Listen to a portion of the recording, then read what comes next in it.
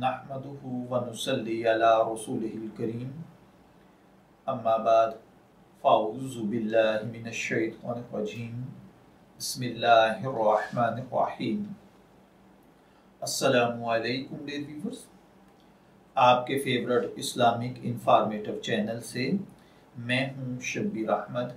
हमारा आज का टॉपिक है, कमेटी में बोली लगाकर कम वसूल करना। ये एक सवाल है जिसमें पूछा गया है कि क्या बोली वाली कमेटी जायज़ है? इसकी वजाहत उस भाई ने की है। इसकी सूरत हाल ये होती है कि मसलन दस लोगों ने एक एक लाख रुपए की कमेटी दस माह के लिए डाली है।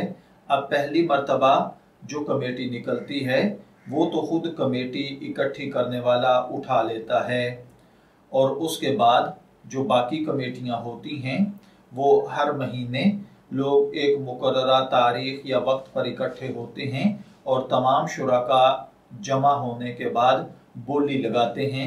कोई कहता है कि ये कमेटी इस मरतबा मुझे नौ लाख सत्तर हज़ार रुपये में दे दी जाए, जबकि दूसरा शख्स कहता है कि यही कमेटी मुझे नौ लाख पचास हज़ार रुपये में दे दी जाए।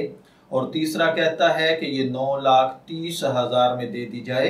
गर्ज, जो जितनी कम बोली लगाता है, उतनी कमेटी उसको मिल जाती है और जो बाकी पैसे होते हैं, वो तमाम शुराका में इक्वल डिवाइड कर दिए जाते हैं। अब पूछना ये है, इसमें बाज लोग कहते हैं, क्योंकि ये मुनाफा हर मरतबा कम और ज़्यादा होता है तो क्या इस सूरत में ये कमेटी लेना जायज़ होगा या नहीं? क्योंकि मुनाफा कम और ज़्यादा होने की वजह से ये सूद में दाखिल नहीं है। तो देखिए भाइयों और बहनों, कमेटी जिसको बीसी भी कहा जाता है, इसका मुरवजा तरीका तो कर्ज के लेन देन का मामला है, जिसका मकसद बाहमी तावन होता है। इसके जवाब की मिन जुमला शराइ में से ये भी है कि जितने पैसे कमेटी के जमा करवाए जाते हैं, उतने ही वसूल किए जाएँ। बोली लगाकर कमेटी कम या ज़्यादा पैसों में फरोख्त करना जायज़ नहीं, बल्कि ये सूद है, इसलिए कि कर्ज से ऊपर नफा कम हो या ज़्यादा हती कि एक रुपया भी अगर नफा हो तो उसको वसूल करना जायज़ नहीं है। इसलिए बाज लोगों का ये कहना कि इसमें नफा कम ज़्यादा होता है, इसलिए सूद नहीं तो यह बात दुरुस्त नहीं है।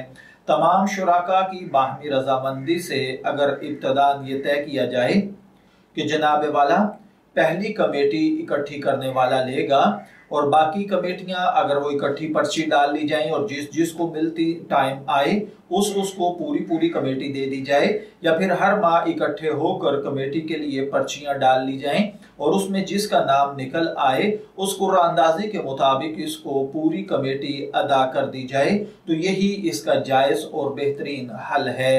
मैं दुआ हूँ कि अल्लाह ताला हमें इन बातों को समझकर इनके मुताबिक अमल करने की तोफीक अता फरमाए। शब्बीर अहमद को इजाज़त दीजिए, फिर हाजिर होंगे किसी नए टॉपिक के साथ। तब तक के लिए अल्लाह हाफिज़।